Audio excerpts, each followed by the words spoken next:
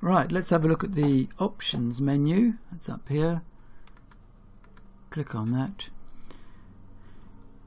On the top of this list it says stay on top. If I if you if you watch this um, on top here, um, if I click off, that clicks off.